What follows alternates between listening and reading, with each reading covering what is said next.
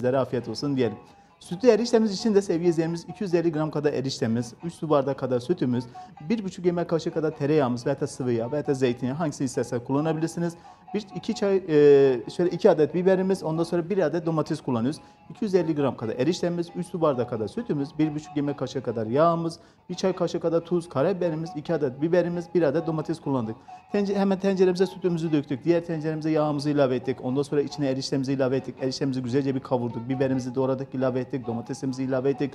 Baharatlarımızı ayarladık ve onlarla beraber güzelce bir şekilde bir kavurduk. Kavurduktan sonra sütümüzü içine ilave ediyoruz.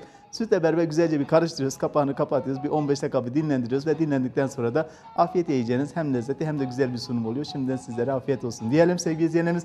Biz de böylelikle tezgahımızı